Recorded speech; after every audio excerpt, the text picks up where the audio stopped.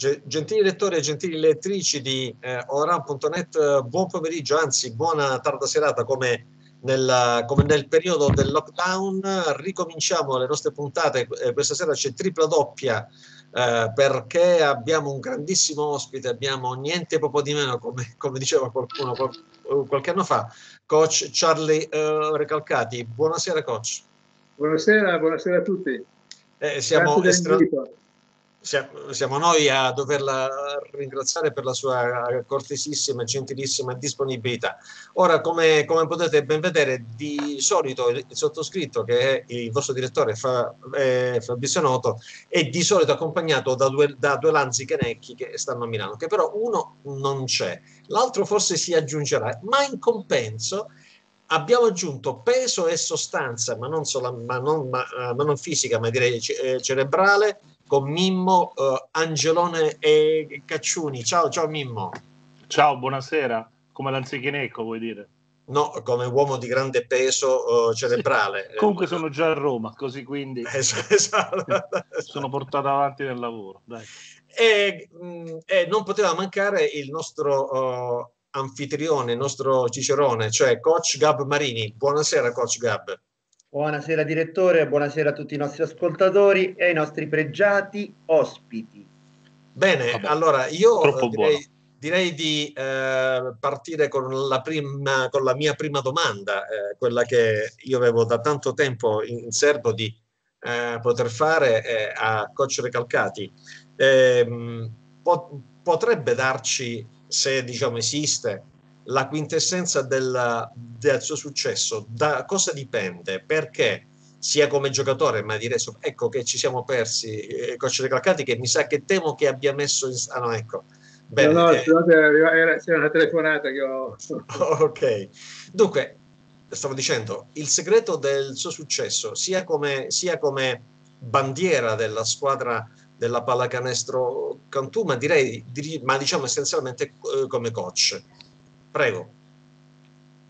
Ah, eh, sinceramente sono molto in, in imbarazzo nel, nel, dover eh, trovare, ma soprattutto parlare, parlare di me stesso. Eh, quello che posso, che posso dire è che nella mia vita la cosa che mi ha accompagnato da, da quando ero ragazzino da Milano viaggiavo per andare a Cantù con, con, i mezzi Pullman, treno, poi ancora Pullman. E mi ha accompagnato fino a, ad ora che ho 75 anni. Sono sempre imposto in ogni situazione, in ogni momento della mia vita di essere sempre comunque me stesso. Bene. Questo, e questa è una cosa che ho cercato, cercato di, di, di, tenermi stretta e che mi ha accompagnata quando poi sono diventato da ragazzo che viaggiava da Milano a Cantù, sono diventato giocatore di, di Serie A della Nazionale. E nel momento in cui da giocatore sono passato nel giro di un'estate a diventare e a decidere di fare l'allenatore, il giorno in cui dovevo entrare nello spogliatoio in qualità di, di, di, allenatore, la cosa che mi sono ricordato, mi sono ricordato appunto che forse la cosa migliore da fare era continuare a essere me stesso, perché in quel momento gli allenatori che andavano di moda erano Peterson e Bianchini. Beh. Quindi quando io sono entrato per la prima volta nello spogliatoio, dove tra l'altro avevo eh, alcuni miei ex compagni di squadra, ho detto se, se, entro e faccio il filosofo mi chiamano subito cominciano a, a, a, usare degli slogan mi, mi sgamano subito quindi entrare con, con, i miei pregi con i miei difetti e forse accetteranno per quello che sono. No, beh, insomma, due, due grandi allenatori, due grandi comunicatori, ecco. Sì, esatto, ma proprio perché erano, erano, io mi rendevo conto in quel periodo che tutti gli allenatori cercavano di copiare l'uno o l'altro. E io diventando allenatore, ma veramente nel giro, io ho detto di un'estate, ma nel giro di un mese, perché dovevo andare a Bergamo in qualità di giocatore, poi a sorpresa il presidente mi chiese di fare l'allenatore. E, e, dovevo, sì, e, dovevo dec- e dovevo decidere. E quindi sono rimasto fedele al mio modo, al mio modo di essere e l'ho portato avanti poi per... Devo, devo dire una cosa che, eh, che non è un segreto, però in occasione di una presentazione del, dei programmi della squadra nazionale eh, al CONI, il presidente Petrucci, allora presidente del CONI, a domanda eh, su quali qualità eh, vedeva in me come commissario tecnico, eh, lui disse è una persona normale. Una persona normale, ma eh, beh, insomma, eh, però no, di... no, no, ma, ma, ma per me fu un complimento, fu un complimento pazzesco perché, perché ciò che io ricercavo. Non ho mai voluto essere niente di diverso che vicino alla normalità. E quindi fu una, un, un, riconoscimento, un attestato che a me fece molto, molto piacere.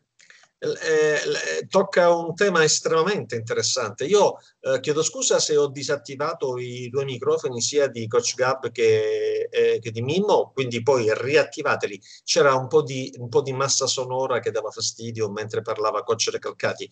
Eh, Mimmo, eh, vuoi cominciare tu a fare una domanda o diamo palla che, che, che, lo, che ce l'ha lì sotto braccio Coach Gab? Mimmo, vai, vai tu, dai. Beh, più che fare la domanda, eh, Carlo Recalcati è una persona normale che fa cose eccezionali. Io ho avuto la fortuna di esserne, di esserne testimone in molti casi, ma eh, abbiamo lavorato per tutto il periodo che lui è stato capo allenatore, no, commissario tecnico è più giusto. E io ero detto stampa, me l'ho lavorato assieme, ma le cose eccezionali per me Carlo ha cominciato a farle prima perché eh, l'ho conosciuto ufficialmente nel 2001 e fu proprio Franco Lauro, tra l'altro, a presentarmelo all'Europeo in Turchia. Lui era commentatore della, naz- della, la, sì, era commentatore della nazionale, commentatore televisivo, e in panchina c'era Boscia Tanevic. E, e, e, Franco mi dice: Ti presento Carlo Recalcati. Fatto, beh, veramente lo conosco. Ma la cosa, il ricordo a cui sono legato, io in realtà l'ho conosciuto 76 o 77. Stavamo a Bormio ah. e, no a Bormio, a Sondrio, a un ah. camp. Ah, il Valtellina Circuit, forse. Sì, ed è quell'anno, e quell'anno noi giocavamo, io giocavo il camp contro, avevo in squadra eh, contro Antonello Riva che era appena arrivato al vivaio di, di Cantù e quindi Taurisano. Andò, io ero fo- molto forte in difesa, però la prima volta che, che marcai su, su Antonello Riva, e lui per quattro volte a otto metri dal canestro, io lui e il pallone, mi passa il pallone in faccia e segna. e vabbè. Poi, riunione plemanica, arrivano i vari giocatori, tra cui Carlo Recalcati e Carlo, così, senza nessun preavviso, comincia a tirare. E faceva dei tiri che nessuno aveva, cioè non è che noi non sapessimo che... Però lui da, da distanza che all'epoca non esisteva di tre metri, tirava posizione di guardia a tabellone destra, andava di là a sinistra e ne avrà sbagliati due su 120? No, 120 no, però 2 su 20 sicuramente. Alla fine, quella che doveva essere la lezione tecnica di Marzorati esatto, è finita con l'essere. Finiva, no, Carlo tirava e basta. E noi tutti ammirati ogni volta che segnava applausi e Marzorati però è stato lì per rinunciare al suo intervento. Poi Carlo lo hanno fer- Carlo ferma, Taurisano, Carlo fermati, una, fermati un attimo. E quindi è cominciato poi l'altro ricordo sul tiro e poi passiamo all'altro è stato quando abbiamo fatto la tournée nel 2002 in Cina. Nella tournée del 2002 in Cina quella la nazionale che poi l'anno dopo che poi l'anno dopo ha, ha, vinto, ha vinto il bronzo all'Europa e quindi si è qualificata ai Giochi Olimpici. Stavamo a 600 km a nord di Pechino in un centro universitario spaziale grandissimo, finisce l'allenamento e Carlo comincia a tirare i tiri liberi. Ne fa 10 consecutivi anche tutti quanti. Beh, ti sei mantenuto, ti sei mantenuto in forma, bravo. Cioè, no, veramente erano tre mesi che non tiravo. E, e, siccome lui non è che te lo dice come per farti dispetto, ma te lo dice come se fosse la cosa più normale del mondo, noi lì sì. tutti quanti con la lingua da fuori, e vabbè, sì, stai sempre così.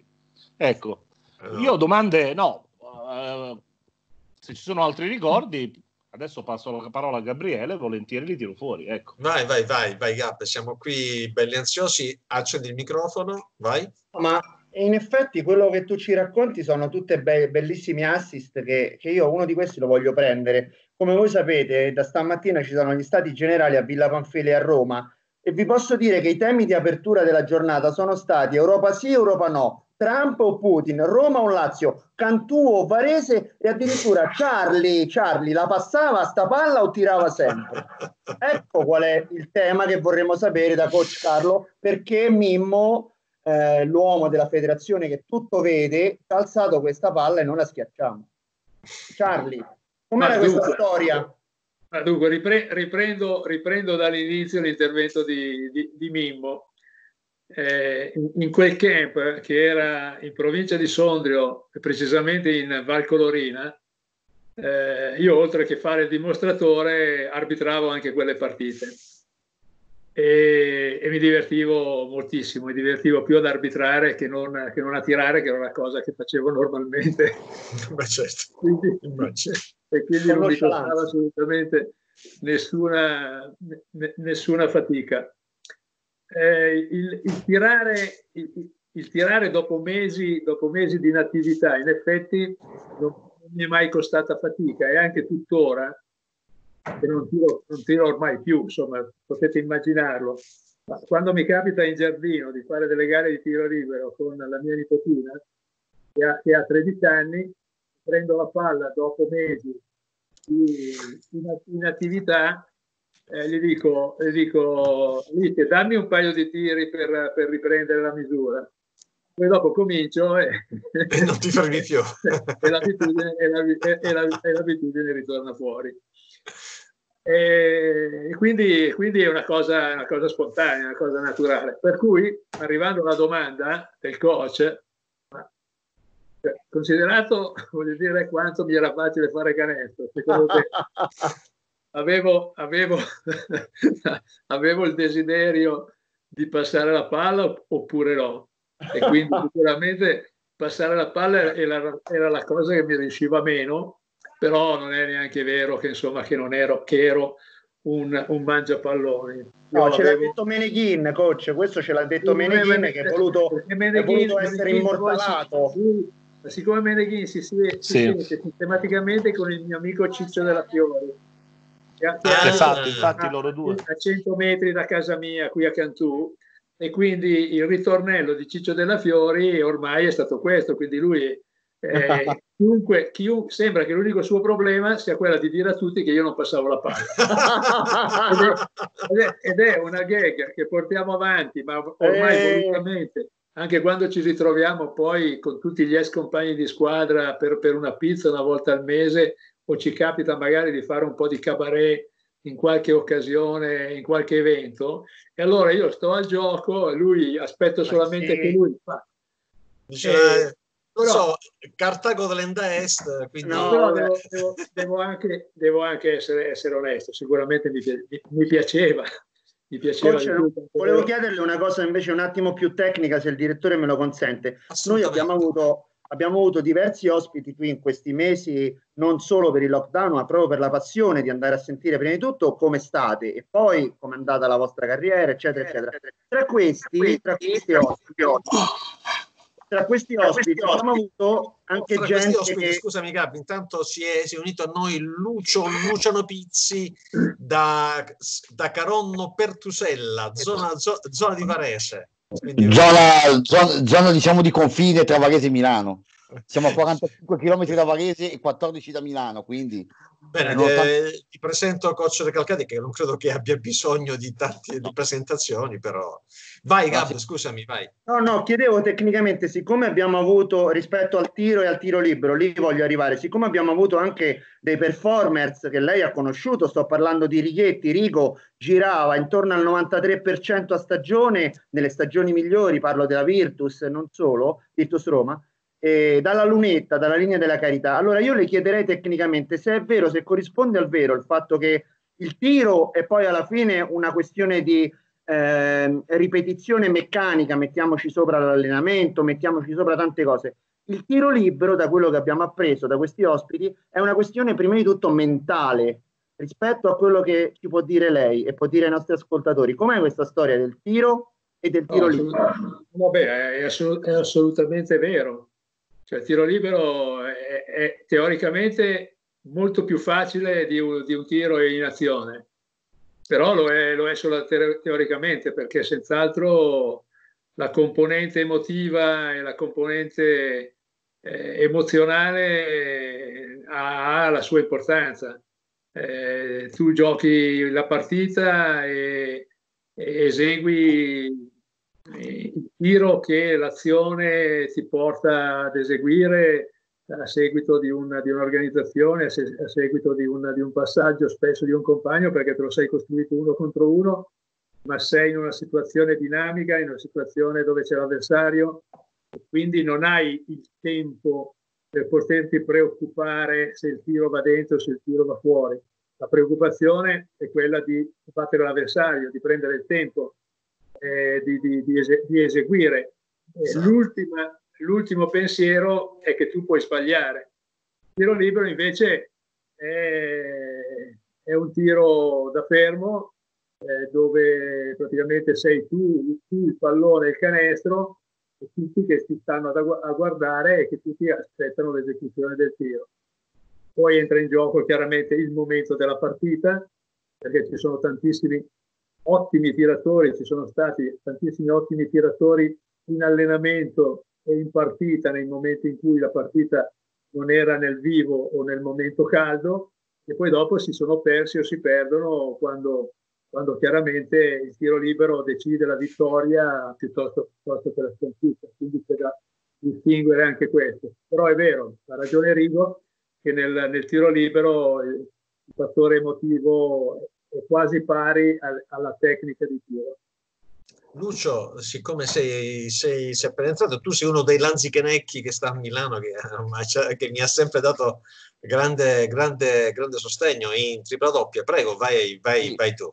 Chiedevo prima a te, direttore, un breve assunto di, di questo inizio, un breve incipit di questa ah, abbiamo fatto, ci siamo sperticati in lodi giuste e, e minime per Charlie Recalcati, uh, lui ci ha ricordato di essere una persona uh, normale che è effettivamente con tutta questa voglia di, di essere super, la sua normalità è, è, è eccezionale perché comunque uo, uomo semplice da, da, cose semplici, da grandi, eh, da ma poche cose semplici si fanno grandi, grandi eh, cose. E poi Mimmo ci ha raccontato eh, i suoi anni, i suoi primi anni, quando ha conosciuto coach Recalcati, con, con, i, suoi, con i suoi aneddoti. Quindi poi sei, poi sei, sei, sei intervenuto tu.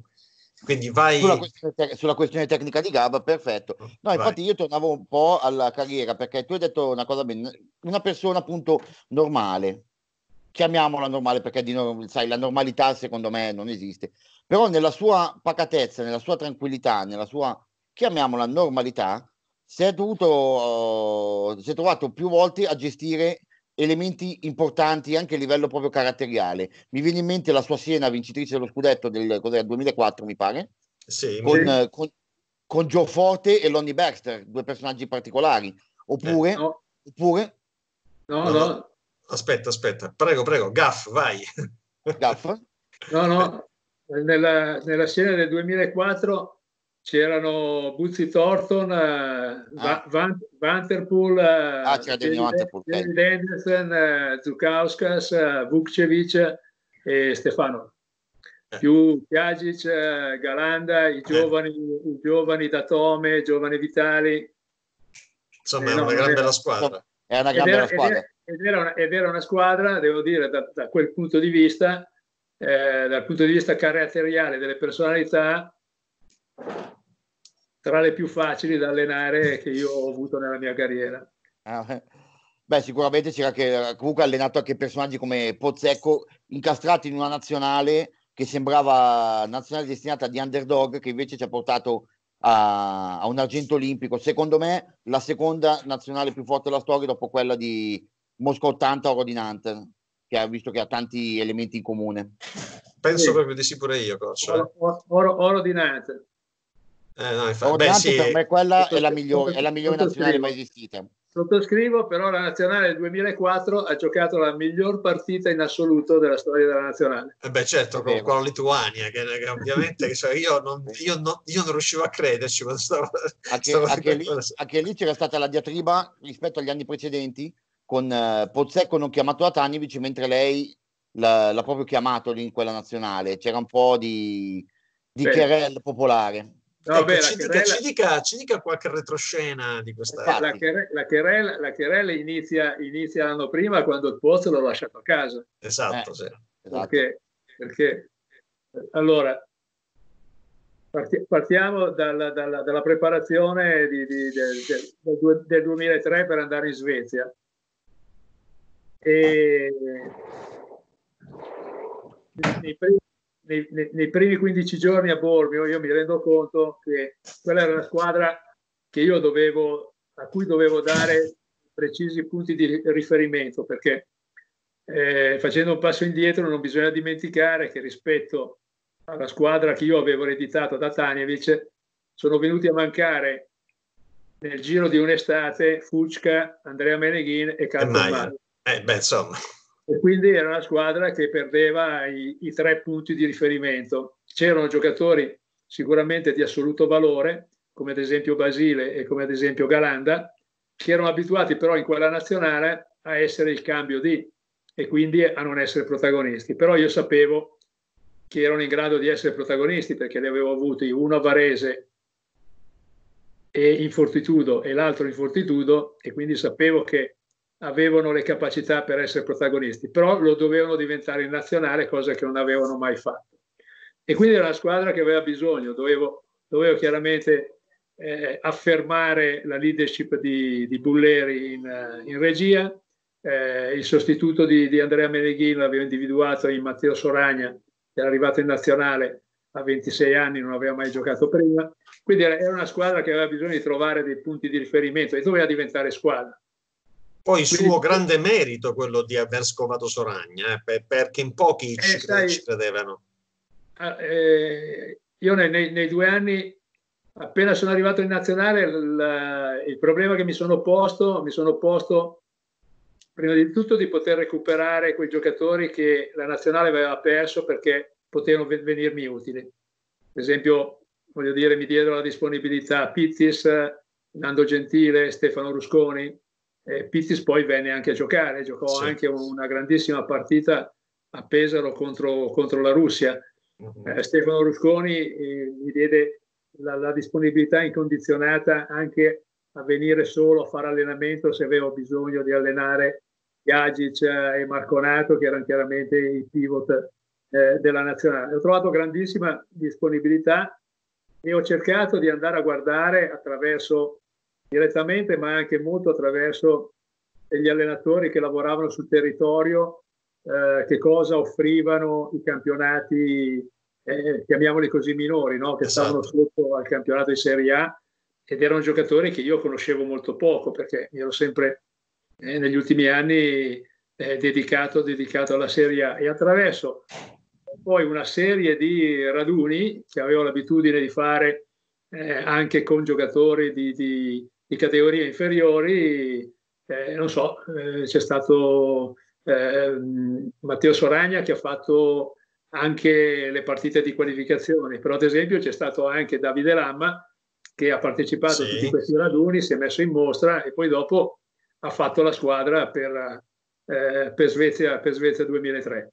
Eh, tornando, tornando, tornando, a Pozzecco, io mi sono reso conto che lui non, Mm, era, era, era, era, era d'intralcio, era d'intralcio nel, nel, nel, nel, trovare le gerarchie e quindi io, siccome a Pozzo voglio bene come a, a mio figlio, non ho voluto fargli passare quello che io avevo passato da giocatore quando in un'estate passata per la nazionale, dopo due mesi e mezzo di preparazione, alla partenza per le Olimpiadi sono stato lasciato a casa.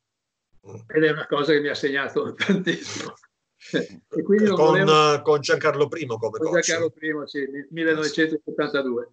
E quindi non volevo che, che Pozza provasse un, un'esperienza di quel tipo e ho preferito lasciarlo fuori subito.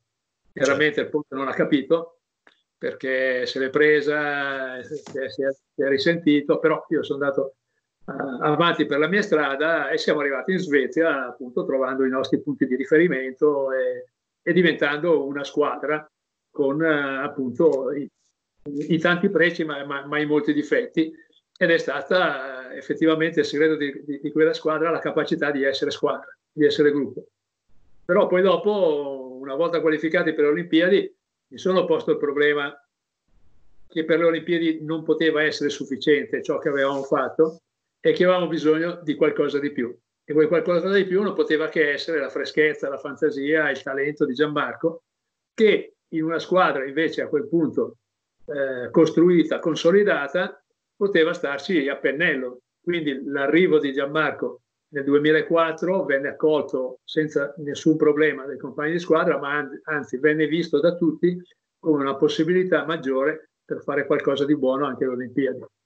Eh, mi permetto di dire, poi do palla a Mimmo, eh, io ho, noi abbiamo rivisto su Sky le gare sia del 2003 che del 2004, abbiamo visto eh, quelle del 99, però quella del 2003 forse eh, mi, ho visto un, un Grecia-Italia che avevo dimenticato, ma eh, comunque coach di, di una bruttezza spaventosa, botte da tutte le parti. Poi loro erano super favoriti perché loro avevano un, cioè uno squadrone, un Diamantidis eh, giovanissimo, insomma era comunque una squadra di sicuramente maggior spessore.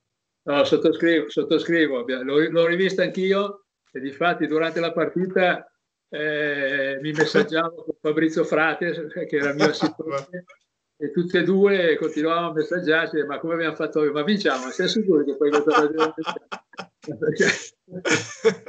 eh sì, è stata sicuramente non, non, è, non è stata il non plus ultra della, dello spettacolo, però è stato, allora la mossa, la, la, mossa è stata quella, quella di toccare sulla scaramanzia il coach della Grecia. Eh, vi, vi, svelo, vi svelo questa cosa. Ecco, sì, ci dica, ci dica. Il, il, mattino, il mattino noi facciamo il canonico allenamento eh, per, uh, per, ripassare le ultime disposizioni, le scelte difensive fatte e ci incrociamo chiaramente con, uh, con la Grecia, con la certo. Grecia che, che eh, e Cacchiusis, che era mio giocatore a Siena, eh no? chiacchieriamo, parliamo insomma un po' e, e, lui mi dice no, sai perché il nostro allenatore è scaramantico e quindi per lui il numero 13 è proprio tabù, non bisogna nominarglielo, non bisogna assolutamente... e quindi noi cosa abbiamo fatto? Abbiamo fatto, abbiamo preso una, una delle sedie, siccome le, le panchine erano già state assegnate, e quindi abbiamo preso una delle sedie, sedie numerate con il numero 13 e l'abbiamo messo dove c'era la panchina, accanto alla panchina della Grecia, in modo che, che, che Ioannis, come, come arrivava sul campo, si vedeva la... la... Sono numero 13 davanti, bellissimo. Eh, perché dovevamo, dovevamo obiettivamente cioè, cercare, cercare ogni, ogni occasione, ogni, ogni, appiglio per poter venire a capo di quella, di quella Grecia, perché noi non dobbiamo dimenticare che il giorno prima avevamo già fatto un'impresa eh sì. eh, battendo, battendo la Germania e, e quindi, quindi insomma, le, le, difficoltà aumentavano. Però devo dire anche, anche, una cosa, proprio perché io ricordo, è chiaro che ho, ho un bellissimo ricordo delle Olimpiadi, però se devo, devo, devo, devo dire quale manifestazione ricordo più volentieri, ricordo sicuramente Svezia 2003 perché è stata non solamente il successo di una squadra di basket, ma di una squadra, perché la squadra era veramente granitica anche attorno ai giocatori, perché, perché il lavoro di tutti coloro che collaboravano con noi, eh, posso, posso, citare Mimo, eh, visto che è presente, ma dirà adesso Mimmo, in rappresentanza di tutti, ognuno veramente aveva e dava il suo contributo, ma lo dava non perché perché il ruolo esigeva che doveva fare quello, ma semplicemente perché si sentiva di fare sempre qualcosa in più. E, e noi siamo arrivati a giocare, ad esempio, la, la finale con la Francia, dove poi adesso tutti ci ricordiamo il risultato, ma è stato dire, un, un percorso dire, a, ad ostacoli, perché noi abbiamo iniziato eh, con in quintetto base Bulleri e, e, e quindi già quintetto base da dato a referto e, e, Bulleri si infortuna negli ultimi minuti del riscaldamento ah, e, sì, va, sì, sì. Va, e va negli spogliatoi e quindi devo, devo in, in, 30 secondi devo decidere, decido per l'AMMA perché voglio mantenere Basile in posizione, in posizione di guardia e nel secondo tempo si infortuna Basile, fortunatamente è tornato Bulleri e sapete, sapete perché il merito del ritorno di Bulleri è sicuramente del preparatore fisico, dello, del, dell'osteopata, de, de, de, del dottore che nello spogliatoio hanno accudito sicuramente nel miglior modo possibile Bulleri. Certo. Ma il segreto del recupero di Bulleri sta in una cicletta che nello, nello spogliatoio stazionava da giorni. Stazionava da giorni perché il nostro, il nostro addetto ai materiali, se me lo consentite, magazziniere Pietro Pietrazzini, sì. che non si limitava a fare esclusivamente il suo lavoro di portare maglie, eh, lettini e cose di questo genere, pensando di essere utile alla squadra, ha, preso, ha prelevato dalla, dalla, dal, dal, dal, settore fitness del Palazzo dello Sport di, di Svezia questa sigletta, l'ha trafugata e l'ha messa nel nostro spogliatoio. Guarda caso, guarda caso ne, ne, abbiamo avuto bisogno, perché se non ci fosse stata quella cicletta non so se Bulleri sarebbe stato in grado di giocare. Allora questa è la, è la misura, io lo racconto sempre perché dà la misura come in quel gruppo veramente tutti si sentivano partecipi e si, si sentivano importanti e quindi ognuno cercava di fare qualcosa oltre quello che gli veniva chiesto, oltre quello che il, ruolo, il, il loro ruolo prevedeva. Certo. E questo a tutti i livelli. Eh. Eh, da, da, da, ho citato Pietro, però posso citare appunto eh, Mimmo, e per non parlare di Claudio Silvestri, di Roberto Gioni, dei miei assistenti, del, prepara, del preparatore fisico, ed è stata veramente una, una, una, una, comitiva, una squadra, una squadra che veramente quando, quando io poi, ora, ora non, è un po' di tempo che non ne faccio, ma quando eh, mi chiamano nelle aziende a parlare di team building, eh, certo, della, della, della, squadra dei collaboratori che ho avuto in quella trasferta eh, svedese sono l'esempio per, uh, per spiegare che cosa vuol dire essere squadra.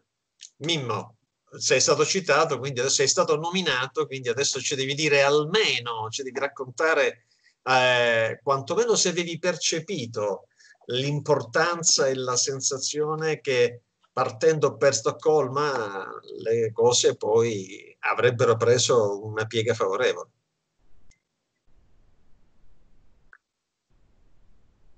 Devi accedere il microfono.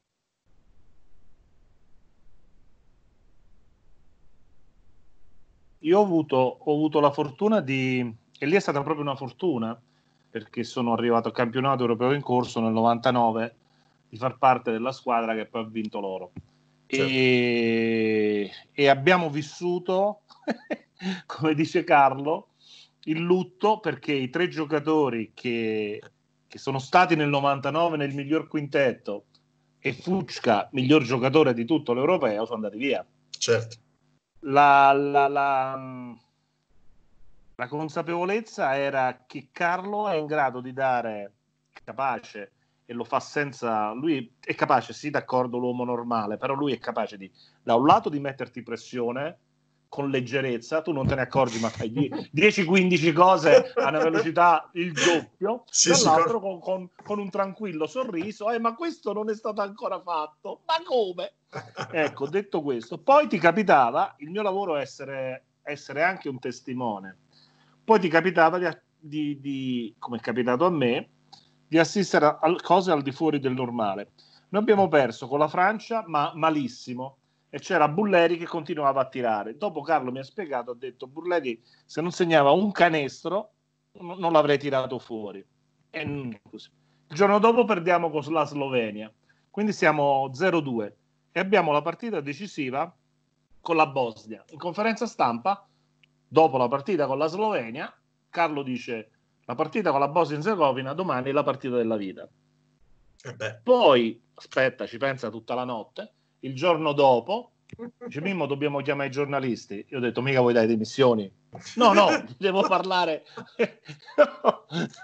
cioè, io non vorrei parlare troppo della, della vorrei parlare un attimo, vorrei parlare un attimo di quello che ho detto ieri sera. E io mi ricordo che eravamo nella hall dell'albergo e lui gli ha detto a tutti i corrispondenti italiani, ha detto io ieri sera ho detto una cosa inesatta.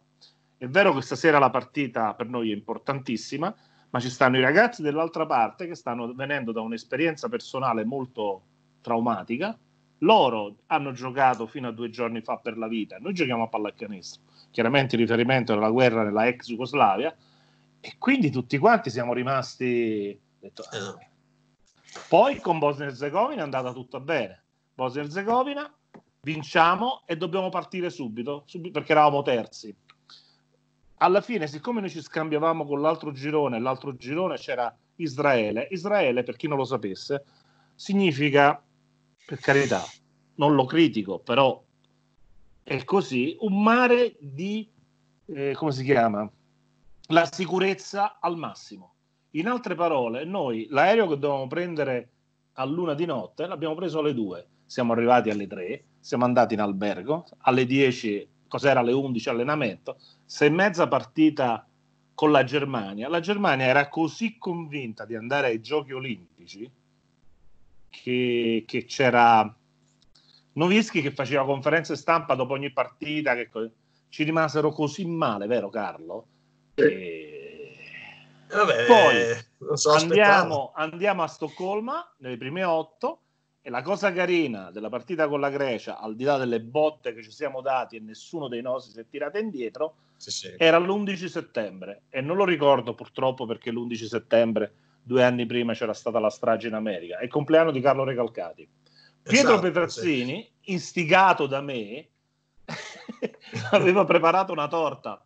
Però, allora, stavamo vicini, io, lui e il corrispondente e Pietro Colnago. Fa, ma che dovete fare? E la torta se Carlo vince.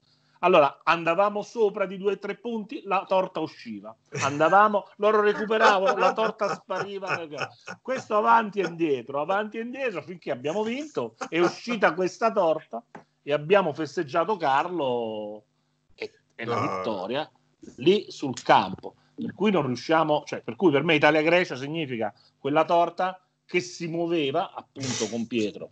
Poi il rapporto con lo staff, il rapporto con lo staff con Carlo che lui ti dà massima fiducia. Non ti viene mai a dire perché hai scritto questo comunicato o come l'hai scritto. È chiaro che chiede il massimo, ma lo chiede pure in una maniera che tu ti senti di dare il massimo. Certo. Una battuta che io spesso scrivevo, che era sua, che diceva che noi come squadra, la somma, siccome sapevamo che individualmente eravamo meno forti degli avversari, però la somma dei nostri valori come squadra doveva essere maggiore certo. della squadra avversaria. E i ragazzi, che adesso tanto ragazzi non sono più, eh, lo, hanno, lo, hanno, lo hanno applicato. Quando fuori Basile, fuori Lamma, perché Lamma mi sembra all'undicesimo, pure lui si fece male, fuori, fuori Bulleri, la palla l'hanno portata Soragna e Mian per 7-8 minuti e sembrava di veder giocare appunto quando, ti ricordo, quando Bianchini giocava con due guardie. Noi, abbiamo, noi staff abbiamo vissuto per un anno immaginando Tony Parker, che all'epoca era la stella nascente, eh sì. tornava, tornava in patria e diceva ma avete perso con l'Italia? Sì. E con chi hai perso tu? Eh, con Soragna, due play nuovi, Soragna e Mian. Come Soragna e Mian? E chi su? E non lo so, però hanno vinto.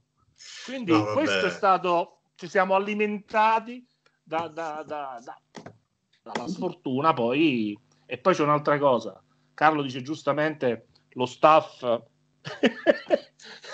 ha messo in piedi Bulleri Bulleri è uscito dagli spogliatoi che sembrava un toro che gli usciva il Snort. Che doveva, che doveva distruggere qualcosa o qualcuno certo, e poi certo. c'è il siparietto non so se vi ricordate, sì? sull'ultima azione, Bulleri, come avrebbe detto Peterson, piglia una forchetta, gli schizza via la palla, cos'era? 6 secondi, 5 secondi, no, il tempo non ricordo, e stavamo sulla, davanti alla nostra panchina. Chiunque, chiunque, con Bulleri che si disperava, chiunque come allenatore, se sarebbe mangiato il giocatore. Carlo invece tranquillo, si è spostato, è andato dall'altra parte, come ex giocatore ne ha vissute tante, Abbiamo, hanno fatto la rimessa alla Francia, Bulleri ha portato fuori, gli ha fatto fare un terzo tempo lunghissimo, marcandolo forte.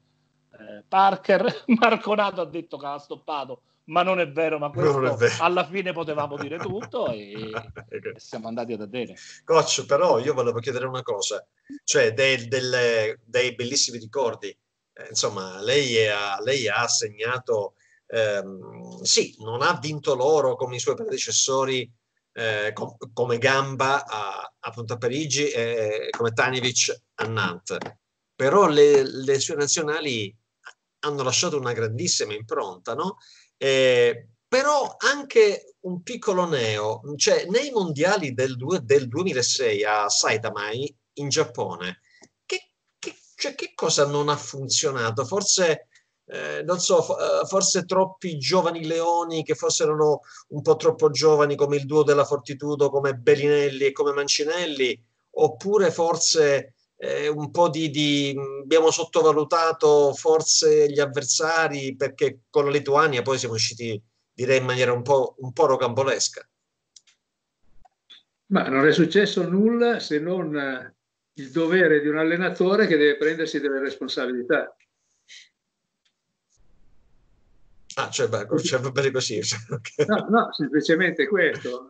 Io eh, ho sempre cercato di eh, di non vedere mai anno, anno per anno, ma di avere una, visu- una visione a lungo termine. Certo. E, sopra- e, soprattutto, se vi ricordate, io sono uscito dalle Olimpiadi dicendo che la nazionale, per la nazionale ci sarebbero stati tempi, tempi bui. Eh sì. per, man- per, mancanza gio- per, mancanza di giocatori, perché non, non avevamo tantissimi giocatori all'orizzonte da poter sostituire tutti quei giocatori che stavano arrivando a fine carriera. E quindi la mia preoccupazione, devo, devo essere sincero, eh, nel momento in cui siamo usciti male dagli europei 2005, mm. la mia preoccupazione è stata quella di cominciare a costruire una squadra per le Olimpiadi del 2008. Certo. E quindi ho visto i, i, i, mondiali, i mondiali come un'opportunità, primo, per poter far tirare il fiato per un'estate a giocatori che avevano dato a, la disponibilità alla nazionale da sempre.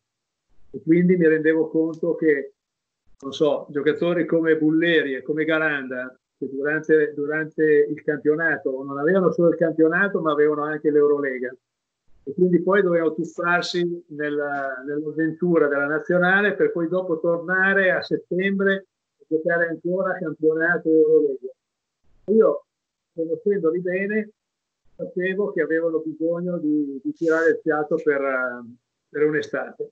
E guardate che non è stato facile, eh. No, sia, sia, certo. Garanda, sia Garanda che Bulleri non l'hanno mica presa bene, eh, il fatto che io... No, ma senza dubbio, coach, in modo, eh. in modo più assoluto, però... però però era, era, era l'occasione anche per cominciare a immettere in nazionale forze nuove che potevano servire poi in, in, funzione, in funzione poi 2008.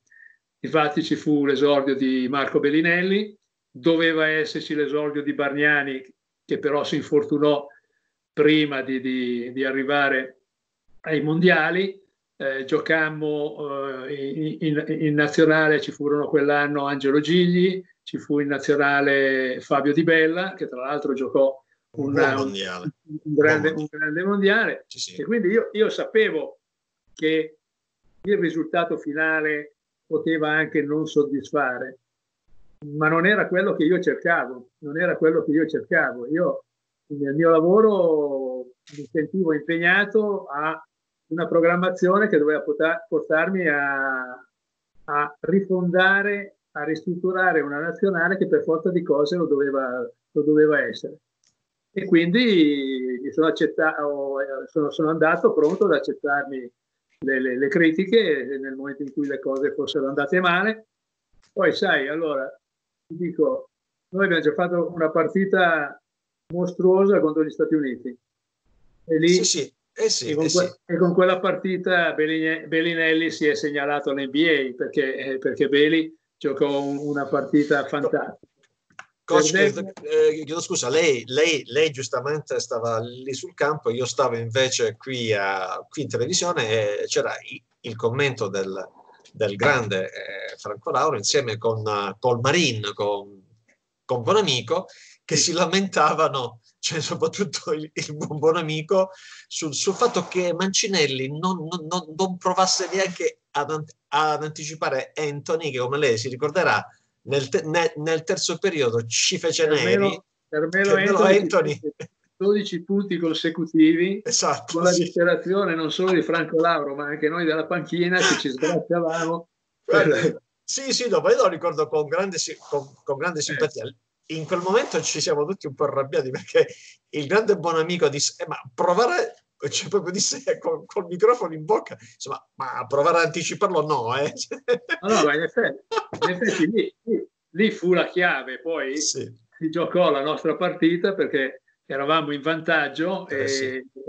e quella, quella, serie di Carmelo Anthony poi dopo riportarono gli Stati Uniti in partita e poi dopo non li abbiamo più presi eh sì, certo. poi dopo arrivando alla fine, tanto per dire le cose che molte volte, secondo me, si abusa no? nel dire, nel parlare, eh, le partite si decidono negli episodi. Eh, però è anche, vero, è anche vero che però ci sono degli episodi che poi dopo eh, eh decido, decidono le partite. E noi nella partita con la Lituania eh, arriviamo, arriviamo tre punti sotto con il tiro finale e chiaramente se lo deve prendere Basile.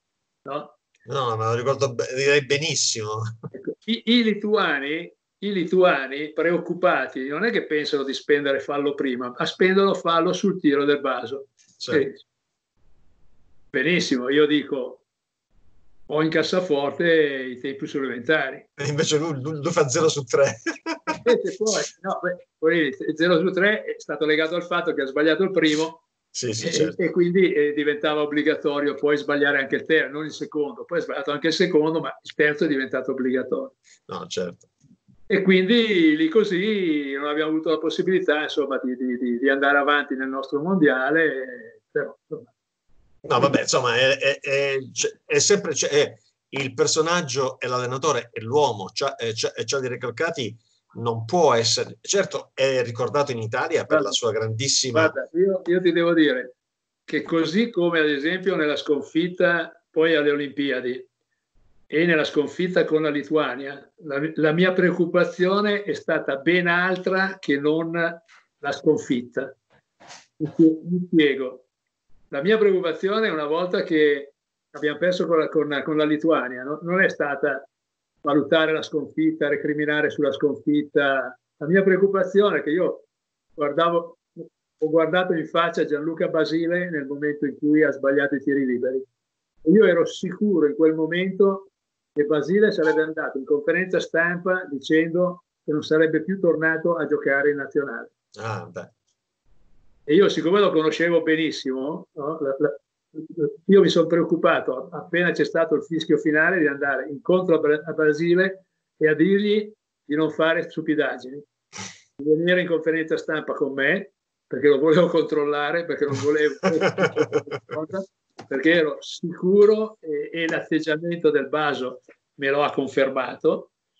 E però Baso poi è arrivato in conferenza stampa e non ha detto quello che avrebbe voluto dire e quindi poi dopo con, con, la nazionale. Quindi stopper, quindi un'azione di stopper, coach. Così, così, come ad esempio nella sconfitta con, con l'Argentina, io nel, minu- nel, minuto finale non mi potevo permettere di pensare che, che stavamo perdendo una partita e che i miei giocatori potessero arrivare alla fine di quella partita frustrati dalla sconfitta. quindi mi sono preoccupato semplicemente a passare parola a tutti, i giocatori che mi capitavano vicino, alla panchina, ai collaboratori, così, e il messaggio doveva essere che noi non avevamo perso l'oro, ma che in quella partita noi avevamo vinto l'argento. E devo dire che è un messaggio che è passato perché poi i giocatori l'hanno recepito e tutti nel dopo partita e di fronte alle televisioni, in conferenza stampa, con i giornalisti e così, tutti hanno, hanno portato avanti insomma, la soddisfazione di aver vinto la più la soddisfazione di aver vinto l'argento che non di aver perso una partita seppur importante. Bene, Gab, vai, vai tu se vuoi dire, vuoi dire qualcosa. Sì, no, eh, siccome il parquet talvolta si fa scivoloso per le cadute, per il sudore, eccetera, anche la mia domanda adesso diventa un attimo scivolosa. Io vorrei sapere da Mimmo, se vuole, eh, spiegarci il motivo per il quale con tanto allenatore, con tanta persona che abbiamo sentito adesso, nel, in questo anno fatidico la federazione, perlomeno spero di non sbagliare, decide di non tenerlo su due campi, uno è Siena e l'altro è la nazionale. Che diavolo è successo? Com'è passata questa cosa a noi, a noi vogliamo dire neofiti, vogliamo dire non conoscitori profondi? Ci puoi dare qualche, qualche, qualche gag di questo aspetto? Perché io non credo che abbia rinunciato il coach, assolutamente no. Ha rinunciato a cosa? Siena? Eh, forse eh. più che Mimo forse più che Mimo è meglio che risponda io. eh, ma io la, volevo, io la, volevo, da Mimmo perché lei risponde in modo professionale, invece Mimmo... Beh, la, la, risposta mia è che delle volte gli equilibri non sono sempre... No, no, massimo, diplomatico bisogna no. capirlo e salutarsi. No, diplomatico no, Mimmo, per favore. No, no. poi Carlo però a, Siena gli ha fatto vincere il primo scudetto, gli ha, eh, direi. Dato, gli ha dato un metodo che poi dopo allenato- un altro allenatore, poi Simone, sì. eh, ha interpretato a modo suo, per carità, ci ha messo molto del suo e hanno continuato. E con un certo Luca Banchi il cambio di mentalità anche. c'è stato con Carlo. No, certo, e con, anche con un certo Luca Banchi che non mi sembra sia... Esatto, insomma, sì, sì. Eh, cioè, coach, lei ha veramente cioè, creato una dinastia di, eh, tra l'altro, di grandi allenatori, perché Siena, io, io la ricordo da da diciamo, appassionato romano, Siena per noi era una partita così, è diventata la partita, la partita poi della vita grazie al suo lavoro. Ma, eh, de- devo rimettere un po' in ordine le cose, come, come, come piace a me fare ogni tanto, perché, perché poi... Prego. Allora, io inizio, inizio il, il, mio mandato di commissario tecnico e sono a tempo pieno sì. per la federazione ed era un momento in cui era necessario, perché appunto, come ho detto, per me era importante avere una visione panoramica di che cosa offriva tutto il panorama basket in fatto di giocatori anche delle, delle serie minori. Una volta fatto questi, questi, due, questi due, anni di, di, di, tempo pieno, d'accordo con, con, la federazione, io avevo la possibilità di, di passare a part-time passando al, passando al part-time sostanzialmente un, un, un, vecchio mio impegno nei confronti di Ferdinando Minucci, che mi ero preso anni prima, quando avevo già firmato per Siena nel 1997 e poi all'ultimo momento chiesi di liberarmi dall'accordo e quindi era rimasto in sospeso questo, questo mio impegno nei confronti di, di Siena. E quindi nel momento in cui sono eh, diventato allenatore della nazionale part-time, potendolo diventare, ecco che Siena si è fatta avanti e ho fatto per tre anni, per tre anni il, uh, il, il doppio ruolo. Esatto. Il doppio ruolo mi è stato possibile grazie al fatto che avevo a Siena Ferdinando Minucci, con cui una volta concordate le strategie e i passi da fare in fatto di squadra, sapevo che tornavo dalla nazionale e trovavo il lavoro, il lavoro pronto. Sapevo che avevo un assistente come Simone Piagnani che poteva iniziare la preparazione della squadra e io, e io tornavo che trovavo il lavoro a buon punto. E devo essere onesto nel dire che Simone, di tutti i programmi che abbiamo fatto in quei tre anni, non ha modificato una virgola e ha portato avanti le cose concordate. E quindi io tornavo e trovavo esattamente questo fatto qua. In nazionale era la stessa cosa, che in nazionale c'era Claudio Silvestri, con il quale, con il quale decidevo la programmazione e nel momento in cui ero comp- impegnato con Siena in campionato in Eurolega, sapevo che Claudio Silvestri lavorava per farmi trovare tutto pronto nel momento in cui finivano i playoff e il giorno dopo arrivavo in nazionale. Sono andato avanti per tre anni così. Sono stati 36 mesi dove obiettivamente io non ho fatto un giorno di vacanza, giorno di... e vi garantisco l'ho potuto fare grazie a quelle due persone che mi davano certo. assoluta, assoluta sicurezza. Poi cosa succede? Succede che il mio rapporto con Siena finisce, come, come è abbastanza normale che sia. Il mio rapporto con Siena era triennale e all'inizio avremmo dovuto vincere il campionato non al primo anno, ma nei tre anni. L'abbiamo vinto al primo anno, per cui insomma, sicuramente meglio, però poi dopo i rapporti chiaramente eh, si esauriscono, si esauriscono, c'era pronto Simone Pianigiani, perché chiaramente il mio lavoro era quello che poi io ho fatto anche a, a Venezia, no? quello di preparare esatto. il, il, mio assistente a diventare capo allenatore. Eh, che quindi, oggi si può dire che, guarda caso, anche lui è diventato eh, un signor allenatore, guarda caso. E, e quindi, esaurito, esaurito quel momento, ci troviamo nel 2006 e nel 2006, e parliamo appunto, abbiamo parlato prima dei, eh, dei mondiali, entro, entro in una fase in cui mi rendo conto che pur avendo la possibilità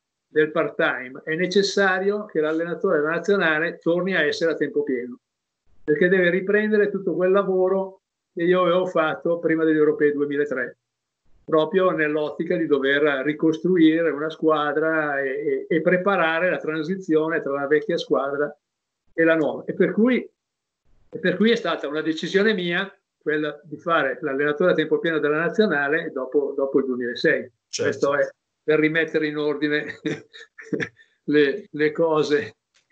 Per chiudere, Mimmo, eh, scusami, eh, Luciano, vuoi dare qualche altra, vuoi, vuoi fare una domanda? Sì, oh, sì. Vai. Sì, ho la domanda perché appunto io sono sempre dell'idea che ogni allenatore, ogni così, oltre ad avere appunto il suo staff, come ha, ha enunciato prima coach con Pianigiani a Siena, Silvestri in nazionale, però c'è sempre un leitmotiv nella sua carriera, cioè un suo legionario fisso che è Giacomo Galanda. Sì. Da cosa è dovuto questo suo rapporto? Da quanto era importante sia a livello tecnico che a livello proprio anche allora, eh... Tra l'altro abbiamo anche poi, eh, poi abbiamo anche intervistato Jack Galanda, allora, tra l'altro in due, in due, circostanze. Prego, coach. Allora, Jack Galanda è diventato importante per me prima dal punto di vista tecnico e poi anche dal punto di vista della gestione della squadra. Dal punto di vista tecnico, perché ha iniziato con me, io lo voglio a Varese perché... In uscita da Verona? Uscita da Verona. No, in uscita da Fortitudo. Ah sì, giusto. Lui era, era, era, era sotto contratto con la Fortitudo e, e noi lo, lo, prendemmo, lo prendemmo in prestito a Varese perché l'input di quell'anno della società e quindi anche della squadra era quella di essere un po' diversi dai canoni tradizionali che c'erano nel nostro campionato, sia dal punto di vista della gestione societaria sia dal punto di vista della, della, gestione, della gestione tecnica. Quindi Galanda per me rappresentava il giocatore ideale per poter variare tatticamente nostre, i nostri quintetti, le nostre partite, perché lo vedevo, lo vedevo più come pivot che come alla forte. Tant'è vero che quando io parlai con Jack per convincerlo a venire a, a Varese, fu molto chiaro e gli dissi guarda che però non pensare di venire a Varese a giocare alla forte come fa in nazionale, come fa in Fortitudo, perché io ho già deciso che l'ala forte di Varese sarà Sandro De Paul, il quale non sapeva avrebbe giocato alla forte perché lui si considerava una guardia e una alla piccola. Esatto, sì. Infatti. Però sempre giocato anche lui questa, questo spirito di innovazione no? e di essere diversi, diversi dagli altri, ho deciso che volevo un, un, numero 4 che portasse anche la palla nei contropiedi per certo. far correre Pozzecco, Meneghin e tutti, e tutti gli esterni. Anche perché, anche perché a Varese di alla piccola c'era, c'era un Mersic che era insostituibile fondamentalmente. C'era, c'era Mersic e c'era Cecco Vescovi anche. Sì, anche, esatto. E quindi, però, e quindi quando parlai con Jack gli dissi chiaro, guarda che se ti senti di giocare pivot, uh, posto per te c'è. E lui mi disse, sì sì, non ho nessun problema, ho giocato pivot uh, fin dalle giovanili a Verona e quindi... Um, non ha, non ha nessun problema. Ed è stata la nostra chiave. Quindi lui è diventato per me il giocatore indispensabile nelle mie squadre, perché lo è stato a Varese, lo è stato in nazionale e lo è stato poi a, a, alla Fortitudo e lo è stato poi a, poi a Siena, proprio perché per me rappresentava il giocatore capace di scombussolare i piani agli avversari, perché nel momento in cui io andavo a schierare Jack come numero 5 diventava un grosso problema per i lunghi avversari, diventava un problema nostro difensivo, chiaramente, però avevamo armi all'interno o con l'organizzazione per poter ovviare ai piccoli problemi difensivi che hanno. Quindi Jack è nato come, diciamo, il mio giocatore ideale dal punto di vista tecnico, però via via è diventato anche l'uomo che mi ha, che ha imparato a conoscermi così bene che poi nella gestione delle, delle squadre addirittura molte volte mi anticipava. Perché esatto. eh, da, Varese, da Varese in poi, quando poi a metà anno della Fortitudo, perché è arrivato in, in Fortitudo, siamo in punta di piedi, perché chiaramente eh, si ricordava insomma, dei trascorsi dove effettivamente via, non, non, gli veniva data grande considerazione, però sapeva che io gli davo tanta considerazione, quindi da metà della stagione in Fortitudo, per poi nazionale e poi dopo Siena, è diventato quello che mi, mi anticipava, perché mi conosceva talmente bene esatto. che nelle mie arrabbiature, che cerco sempre di nascondere, no? lui le percepiva in anticipo e allora mi diceva senti cosa, ho capito che forse è meglio che parlo con la squadra. Ecco, gli dicevo, eh, guarda, bravo. Parla, io avevo l'abitudine, ad esempio, una volta, eh, non, non, non, più di una volta perché sennò perdi efficacia, piuttosto che spendere tante parole per la squadra in, in certi momenti eh, chiave della stagione in campionato o, o della, del, dell'estate con la nazionale, di, di, piuttosto che spendere io delle parole, di dire alla squadra, ragazzi, qui penso è, è arrivato il momento che vi confrontate e, e vi chiariate le idee. Vi chiudono lo spogliatoio per mezz'ora e voi cercate di uscirne con le idee chiare. Vivi, ecco. possibilmente vivi. Ecco. Jack, Jack, da un certo momento in poi, non mi ha neanche dato la possibilità di essere io a decidere di chiudere la squadra dentro lo spogliatoio perché lo faceva lui, lo faceva lui di sua iniziativa, eh, avvisandomi dicendo ho capito, è il momento di fare quella cosa. Ecco, bravo Jack, hai capito? Benissimo. Quindi è stato fondamentale.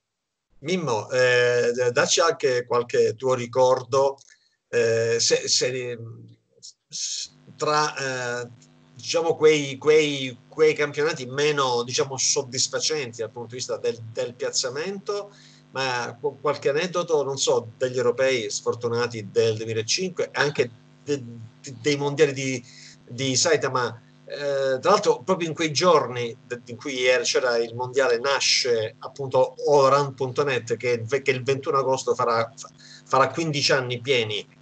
Eh, mi, mi, se ci puoi illuminare Mimmo dici. Ma ci sono piccolissime cose che poi i ragazzi intanto Galanda Basile e Mian erano i capitani della squadra. Dettavano loro le regole i ritmi e non so se Carlo lo sa, ma a mezzanotte li andavano a prendere, li portavano in camera. Dice, tu stai in camera. Dice, ma guarda un porno, ma sta in camera. Il butta dentro. Fa, fai quello che vuoi, ma tu a mezzanotte... E, e, poi c'era Basile che era il, il, vice capitano, ma come dire, era quello che poi... Baso parla poco, ma annuiva e gli altri obbedivano. Poi non so se Carlo sa che a Porto San Giorgio c'è il tavolino Michelori. Il tavolino Michelori è il tavolino dove Carlo ha detto a Michelori che non l'avrebbe portato ai giochi olimpici. Ah, yeah. Dopo due anni, mi sembra, che lui è stato convocato, Miche, è stato convocato di nuovo per le qualificazioni europee. Sì, sì. Lui fa, cioè, vedete, ci porta proprio nel... Voleva bene questo tavolino qui mi ha tagliato. Lascia perdere che ha fatto bene, ma qui mi ha tagliato. Questo è un posto di dolore per me. Dolore, certo. Quella, quegli anni in cui noi, noi, abbiamo giocato, noi abbiamo giocato, sì, noi abbiamo giocato con formazioni non, al, non per quelle che potevano essere. Carlo, il gran lavoro che ha fatto al di là dei singoli giocatori che ci potevano essere, ricordo una per tutte le partite in Ungheria che è stata l'unica volta che non è venuto a parlare con me a fine partita perché siamo riusciti a sbagliare gli ultimi dieci tiri aperti consecutivi mm. e loro, lo ricordo perché li ho contati, eh, non perché no, certo. tiri, 10 tiri aperti consecutivi, loro hanno vinto e hanno festeggiato come se avessero vinto l'europeo. Eh, e poi sì. da quella partita è dipeso tutto, ma al di là del fatto che c'avevi la Francia, Tony Parker e così. E, ehm, la partita con l'Ungheria, Carlo, eh, non avevamo non avevamo gli NBA, però Carlo, la cosa fo- importantissima è stata che chiunque siano quei 10 che vanno in campo e, e, sape- e quelli sono la nazionale, quelli vanno supportati al massimo. Certo. Noi, venivamo, noi, venivamo da, noi venivamo appunto dalle medaglie. Eh, la cosa più triste, forse sempre in Ungheria, non so se Carlo ti ricordi, esattamente a quattro anni dalla nostra finale, ci fu la finale il giorno dopo, prima di partire, fra Stati Uniti e Spagna. Insomma, non fu carino vedere quella stessa partita giocata da altri. Però la cosa, i 10 che vanno in campo i 12 che vanno in campo, chiunque essi siano, pure se sono i giocatori C, in quel momento rappresentano la nazionale. Certo. In quel momento lo sforzo di tutti deve essere metterli nelle migliori condizioni per giocare, perché non puoi, non puoi lavorare bene se hai Bargnani e Bellinelli o Marconato e Chiagic e lavorare male se hai altri giocatori considerati meno importanti. E poi ci siamo accorti che aveva talmente ragione Carlo, che i giocatori meno forti sono diventati importantissimi per noi della nazionale. Che i giocatori che erano seconde linee, non è carino fare nomi, però eh, modi di parlare, modi di fare, sono rimasti fra di noi perché c'erano quei giocatori, perché prima di essere grandi giocatori erano grandi persone. Quindi noi abbiamo avuto grandi persone che sono riuscite a fare belle cose negli anni.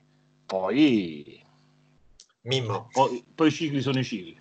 No, no, no, nel modo assoluto. Non voglio assolutamente eh, eh, creare eh, delle, diciamo, delle situazioni un po' sgradevoli. Noi abbiamo parlato, noi qui di, di Oran.net, soprattutto in tripla doppia, abbiamo parlato molto della, della nazionale che recentemente abbiamo visto nei vari mondiali, nei vari, nei, nei vari appuntamenti, quindi non tocchiamo questo tasto, noi tutti ci siamo fatti una nostra idea chi dice che sono male assortiti, io credo che non, non, siano particolarmente motivati, non che giochino contro, ma che non siano mentalmente ben, ben focalizzati eh, sull'avvenimento. Eh, io, io parlavo di quegli anni lì, però, eh, non di sì, adesso, sì, no, no, no, no, io, no, no, no, assolutamente. Parlo io di oggi, no? quello di oggi, quello che abbiamo visto, pure se effettivamente le, le ultime due, due, due gare che Meo Sacchetti ha condotto alle qualificazioni europee contro l'Estonia contro la Russia ci fanno ben sperare quantomeno come spirito di combattimento. Eh, coach, un, un'ultima cosa, poi lascio.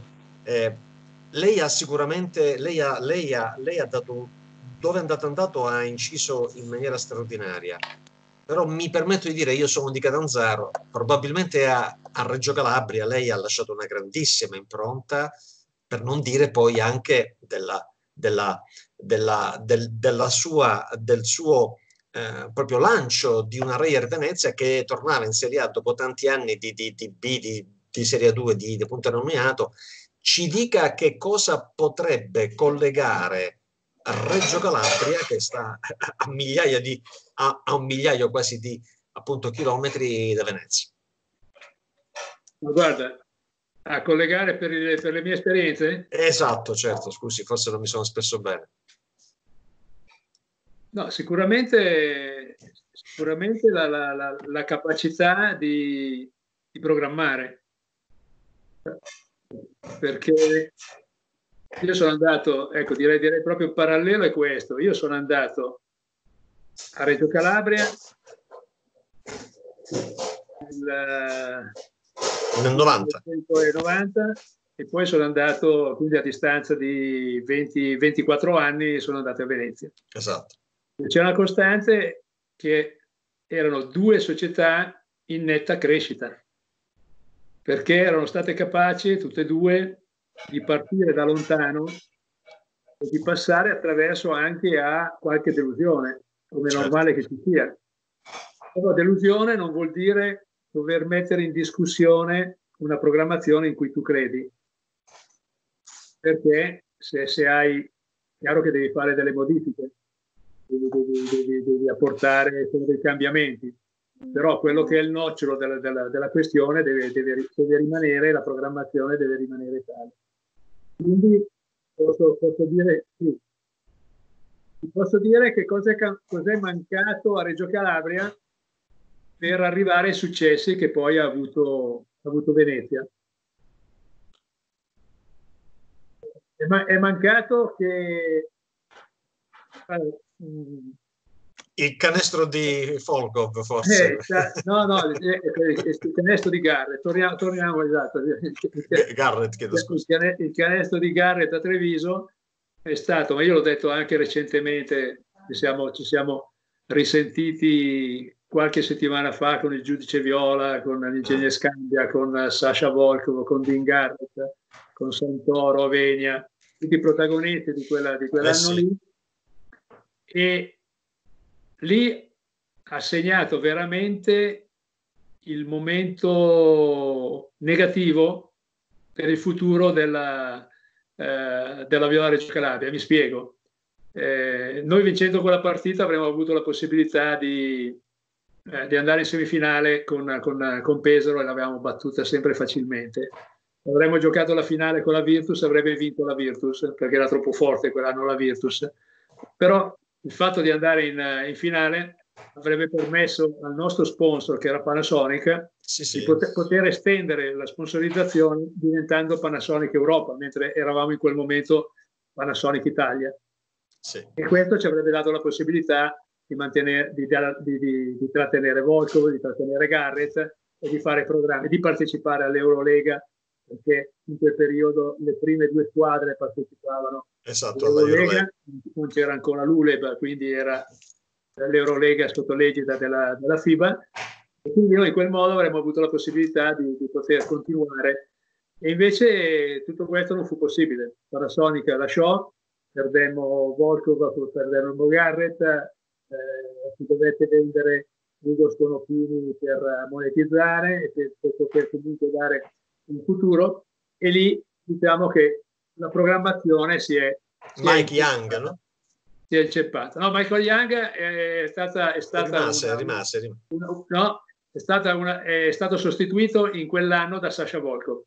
Ah, ti sì, racconto, certo. se abbiamo tempo ti dico per dire chi non conosce Reggio Calabria quanto entra nel cuore Reggio Calabria. Eh, Michael Young non voleva andarsene da Reggio Calabria io gli spiegai che era una mia scelta tecnica perché volevo riportare Donato Avenia nella piccola e un giocatore come Sasha Volkov. E difatti Michael Young dice no no io mi faccio da parte se viene Sasha Volkov capisco benissimo. Certo. però finché Volkov non firma io non firmo da nessun'altra parte. Lo voleva il Limoges mi telefonava Malikovic e mi diceva non riesco a capire questo giocatore Cosa c'è che a Reggio Calabria? la possibilità di venire a Limoges, di giocare l'Eurolega, che guarda, e poi quell'anno andò a finire che vinsero l'Eurolega. Esatto, poi vinsero no? contro la, la Benetton. Ma cos'ha Reggio Calabria? Perché un giocatore non vuole mai andarsene. E di fatti, vuol dire, tu, tu hai citato eh. Young, lui firmò a Limoges solo il giorno in cui noi si fece il comunicato ufficiale della firma di, di, di Sasha Volk. Signori, e quindi Ecco, mentre invece, voglio dire, il percorso di, di, di, Venezia non ha avuto fortunatamente un epilogo di quel tipo lì e hanno avuto po- possibilità di proseguire nella loro programmazione e di portare a termine il percorso.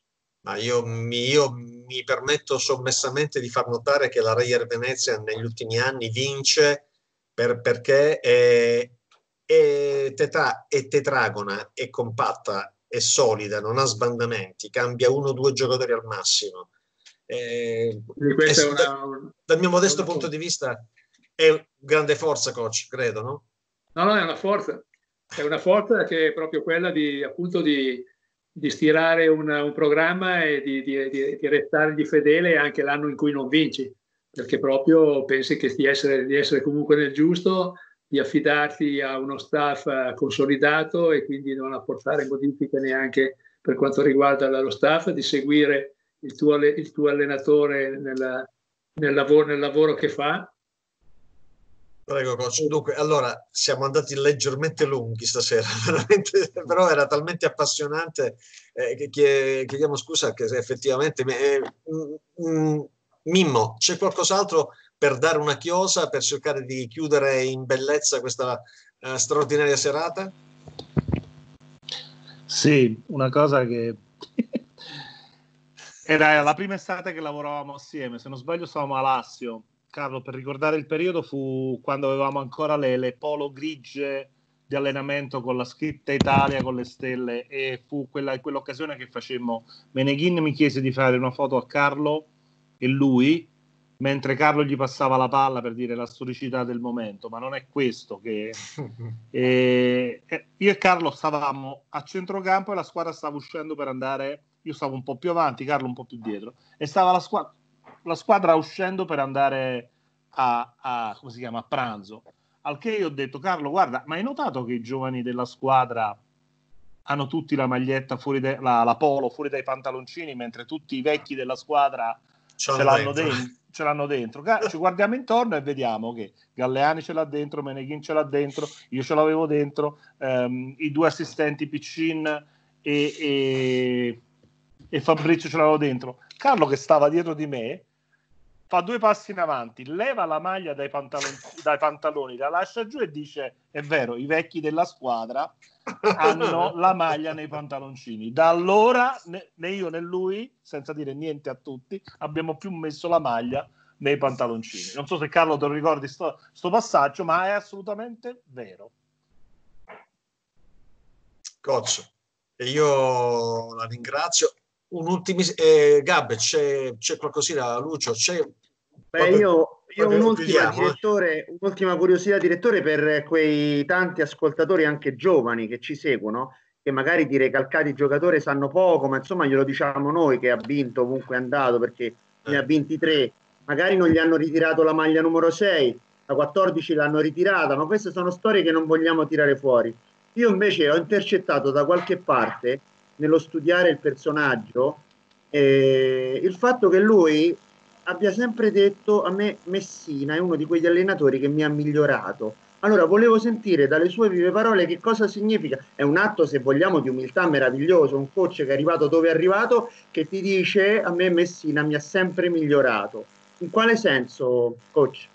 Sì, io lo, lo, dissi pubblicamente in occasione degli 80 anni della, sì. della federazione, l'ho ribadito l'estate, quando, l'estate scorsa quando, quando Ettore decise di tornare in Italia.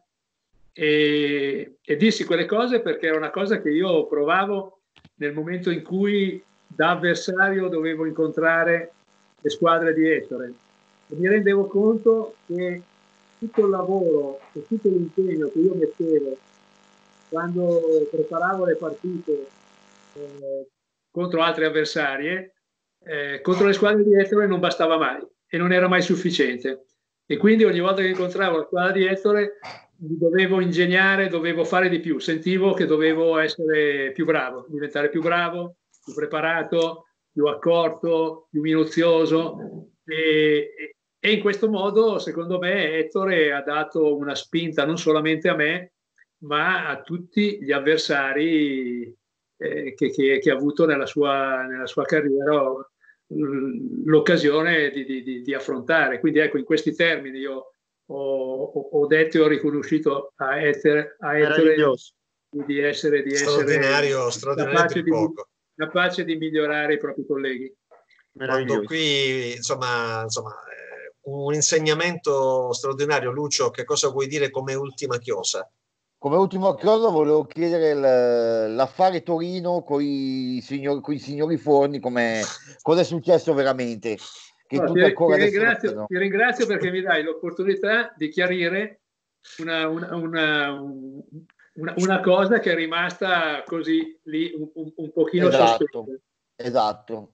Allora, io ho avuto avevo, avevo eh, un ottimo rapporto con papà Forni da prima che andassi a Torino e, e quando sono andato a Torino eh, con il giovane Forni ho avuto un buon rapporto. Non ho mai avuto problemi di quelli che si sentivano, ecco, che, tanto per dire che sì, sì. che chiacchieravano. Sarà stato perché sono stato solo tre settimane, sarà stato perché aveva un po' di soggezione nei miei confronti, però anche nella sua frenesia, ad esempio, di cambiare giocatori, lui mi proponeva, io dicevo no, ed era, ed era no. E quindi eh, da questo punto di vista qua. Il, il, il, vero motivo per cui io ho lasciato Torino è che io ho avuto per la prima volta in vita mia, quindi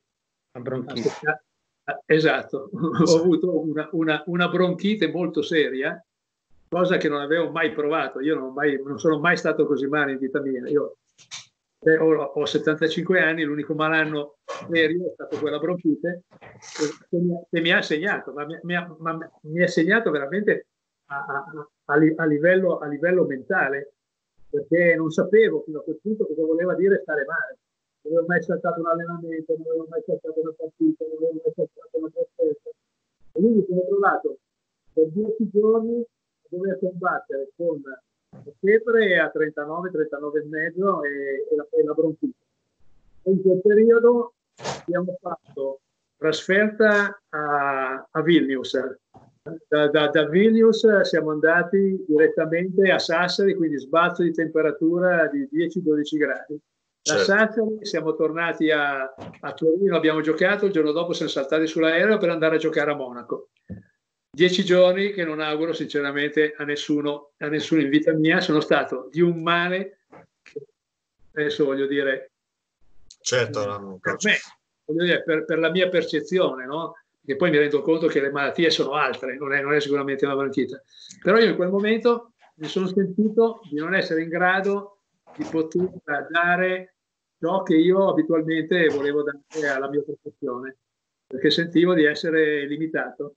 Certo. Quindi ho preso, io avevo contratto anche per l'anno successivo e ho lasciato tutto, ho lasciato tutto, ho parlato con, con il presidente Forni, gli ho spiegato le cose, ho dovuto chiaramente con lui poi andare da un funzionario Fiat per, per spiegare che effettivamente era una decisione mia che non era legata a, a dissapori. Certo. Con, però, sa, però, però sa coach quando le pietre rotolano poi a ah, fermarle so, so, mi rendo conto però io quando c'è possibilità e ti ringrazio mi, mi, piace insomma ri, no. rimettere le cose al proprio posto. Bene benissimo.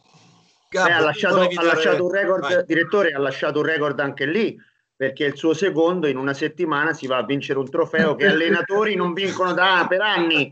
È verissimo.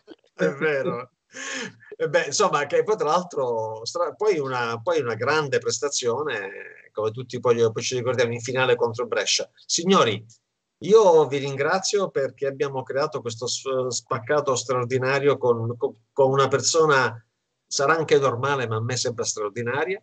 Eh, do quindi prima di tutto un caro saluto a Lucio Luciano Pizzi. Ciao, ciao Lucio. Ciao, direttore, ringrazio coach, ringrazio Mimmo, Gab e saluto tutti. Mimmo, un, un caro, caro, grande, grande abbraccio a te. Grazie. Il microfono, Mimmo. Ah, perché purtroppo c'è quel rumore di sottofondo che purtroppo... Vai. Un, ca- un, caro saluto a tutti col microfono acceso. Grazie Mimmo, scusami, ma c'era quel, quel c'era, non so, c'era un, c'era un rumore no, no, nessun problema.